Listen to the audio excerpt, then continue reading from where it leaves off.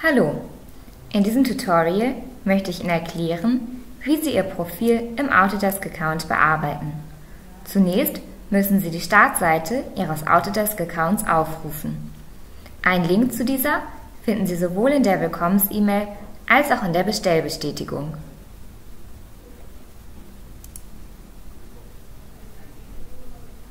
Auf dieser Seite sind nun die Login-Daten einzugeben, die Sie in Ihrer Willkommens-E-Mail erhalten haben.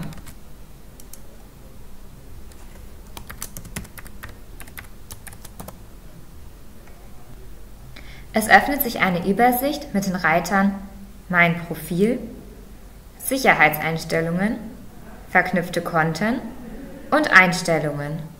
Bei Mein Profil haben Sie die Möglichkeit, Ihr Profil zu gestalten und beispielsweise ein Bild einzufügen, indem Sie auf den Button Bearbeiten Profil klicken.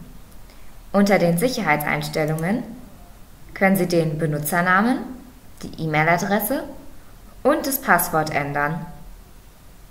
Falls Sie die E-Mail-Adresse ändern, klicken Sie bitte anschließend auf Überprüfen E-Mail. Außerdem steht Ihnen die Funktion der Zwei-Faktor-Authentifizierung zur Verfügung.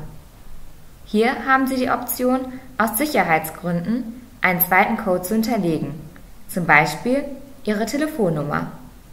Der Account wird dann beispielsweise über eine SMS verifiziert.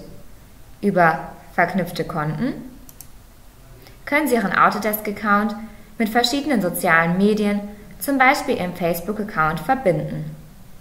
Unter Einstellungen ist es möglich, die Sprache auszuwählen. Außerdem können Sie einen Newsletter abonnieren und so aktuelle Informationen zu neuen Produkten und Angeboten per E-Mail erhalten.